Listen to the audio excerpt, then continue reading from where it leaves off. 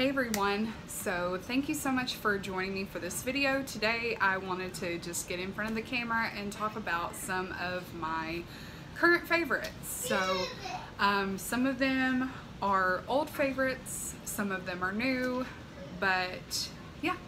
So let's just dive right in. Um, so if you follow me on my Instagram, I talked about um, a couple of days ago, maybe yesterday, about uh, this perfume that I really loved back in 2007, around that time, that Bath & Body Works used to have called Blackberry Amber. And they have never brought it back, which makes me so sad because it was my signature scent. I bought bottle after bottle and used them up and everything. I still have a little bit left out of one of my bottles just so that I could keep it and it still smells um, but I definitely don't use it. So I've been looking for a replacement and found an exact dupe from somethingspecial.com. So this is Blackberry Amber and she has got tons of different scents. It takes a few weeks for your stuff to come in, but it is well worth it. I think her prices are really good as well. Um, since I knew I loved this stuff, I went ahead and bought the biggest bottle that she had. But this is the Eau de Parfum spray. And yeah, I'm super excited to be able to have my signature scent back. So, love. It just takes me back. So I'm super, super happy to have that back. Another favorite that I have really been loving, this is the second tube of this that I've gotten. This is a different color though. This is from Fresh and it is the Sugar Lip Balms. Um, I had the rose one, but I got the spice. I really like the color. It just gives you a nice hint of color. Um, this is like the only chapstick or lip balm that I've ever had that can, I can put it on at night and then the next day when I get up, I still feel it on my lips. My lips feel super, super hydrated and it's not just um, you can't really feel that it's on. It's a very lightweight formula. It's very soft too. So you know how whenever you open up chapstick, you have to go over it a few times. You definitely don't have to do that with this. A little bit goes a long way. It's a little bit on the pricier side, but well, well worth it because um, you just get quite a bit. So, um, and I love their packaging. It comes in this really nice um, kind of a metal tube and it's a twist up so super happy to have another of these and I it takes me forever to go through them I've still got a ton left on my rose one um, but I really really just like this balm because it works great right now here where I live we're going through extremes of temperatures so earlier in the week it was like 70 degrees and then today it's like in the it's been in the 20s for the past few days so or it feels like it anyway. but um, it keeps my lips nice and hydrated and I love that. The next favorite is um, something I know y'all have probably seen the videos on Facebook for these charcoal um, teeth whitening things. I'm not going to open it because it's very, very messy, but I got one of them from uh, Black Diamond, and it is a powder. So what I will do is just open it up, run my toothbrush under the sink, get just like put it in there and then start brushing and then once I'm done then I'll go in with my toothpaste and brush over that. I haven't noticed any sensitivity but I will warn you it does turn your toothbrush black so you might want to go ahead and just get the set or just get another toothbrush or else it's going to turn black. The next thing on my list is this Biore Charcoal Cleansing Micellar Water. I've never really used micellar water before, but I kind of just use it to take my makeup off during the day. And I really just love the feel of it. It doesn't leave my skin feeling oily or anything like that. Um, and it just really takes my makeup off very, very well. And it just feels really refreshing. Um, other than that, it's uh, formulated for oily skin, which I have typically always had, but um, just kind of as I've gotten older, I'm not experiencing quite as much oil. Of course, it's not summer yet either. But um, I'm not noticing a lot of breakouts or anything like that anymore. So I've gone a lot lighter with my makeup and everything like that. Um, another favorite that I did not grab is the NARS Tinted Moisturizer. I've been using it and I really love it. It's just tinted enough where it looks like I've got makeup on, but it's very lightweight. I just set it with a little bit of powder and good to go. A little bit of concealer if I'm super red or if I've got some, you know, under eye bags or anything like that. But I'm really, really loving that and this. Now for planning favorites, um, I've got a few things here.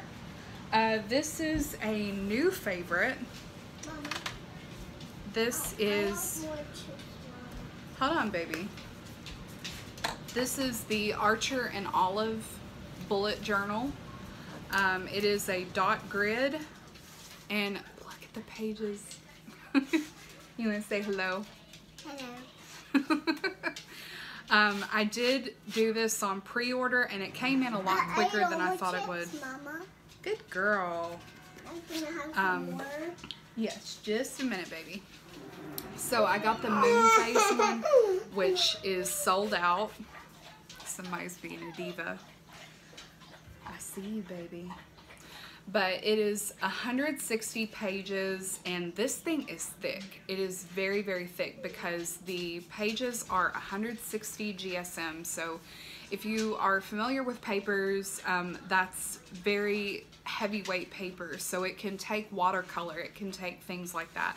I haven't noticed any ghosting in my journal so far, um, and I have put quite a bit of distress ink on it, but you can't see it on the other side at all. So that is awesome. And like I said, no ghosting whatsoever. So this journal, it is a little bit on the expensive side, but well, well worth it. The pages are bright white. You've got that nice dot grid on there and it is a gray, so it's not super apparent. It's not very distracting to the eye. Um, but I just, I love this thing so far. I'm so glad to be back in a bullet journal. So your first page is the, this book belongs to, and then. It just goes right in. You don't have a key page, but you can totally create one for yourself. Um, I have found with other bullet journals that you do have a key page, and I usually just cover those up and just get right to it because I don't really use these as a bullet journal is intended, but I think that's something that's so great about these that they are so customizable and you can just do whatever you want to in them. So I've been like sticking uh, craft paper down and just different things like that, stickers, all that fun stuff. And I just, I love being able to be creative with it again. Um, you've got a nice elastic band here and a pin loop and I just love the silver foiling on the edge of the pages. It just makes it feel so luxurious and this journal definitely is luxurious. It's got a nice cloth front and your little moon phase. They've got different patterns and everything, but this is wonderful. I love it. And the last few things that I'm going to talk about today are pens. Um, as y'all know, I am still using my Microns. Those are definitely my everyday pens. The uh, Micron number two. I just love the thin lines that it gives and everything like that. But I wanted to find some different colored pens um, that I could just use to kind of switch up and everything. Um, I have never used the Stabilos, but the Stabilo um, .88, this is a gray, and I'm really liking it so far. It's a nice fine tip, and it's just a dark gray. It looks so nice in the pages, just something a little bit different than just using black all the time. So really liking this. And then I've got two other pens here. Um, the Zebra Sarasa uh, 0.7. This is in the burgundy color. This pen is gorgeous. I love just the color that it gives. It does tend to skip a little bit, but once you go back over your line, it looks really crisp. Um, I may try to find the micron version of these, but this is a great pen. Um, I've used Sarasas before and have really liked them, have had really good luck with them.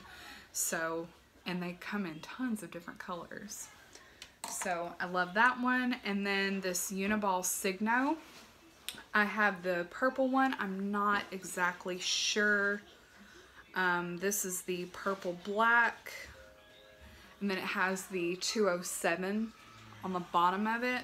So, um, I don't know if that really means anything. I'll try and find descriptions for, or find links for everything and leave them in the description box down below, as always.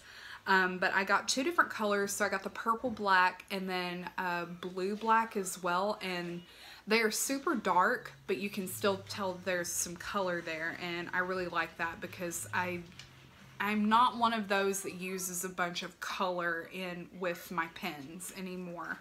Um, I used to when I first started, but I just kind of have diverted away from that and I just like to use, you know, a certain certain colors. So this one's like a really deep eggplant purple and then the blue one that I have is like a really dark navy blue.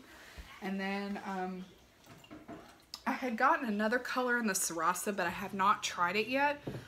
Um, doesn't have a color name but it is the navy blue one if you can even tell. So yes, but anyway, like I said, I will leave links for all these down below. Um, that is my current favorites right now. So what are some favorite things that you've been using here lately? Um, they can be planner related or they don't have to be, absolutely. So yes, that's all I can think of. But anyway, I know that I haven't been posting like I normally do. I try to do two videos a week, but things have been a little crazy. You know, I always I always feel like I say that, but I do want to get on a uh, regular-ish filming schedule. So I will be having some different things coming in. I'm going to be doing a full uh, setup using this Archer and Olive journal, um, and I will probably try to film that. Um, I've got some of my supplies ready for that but just waiting on the last bit to come in. So anyway, me and the messy desk, we're gonna go. but thank you so much for watching. If you liked this video, give it a thumbs up. If you would like to see future videos, please hit subscribe. I would love to have you over here. And thank you again for watching. I'll talk to you later. Bye, everybody.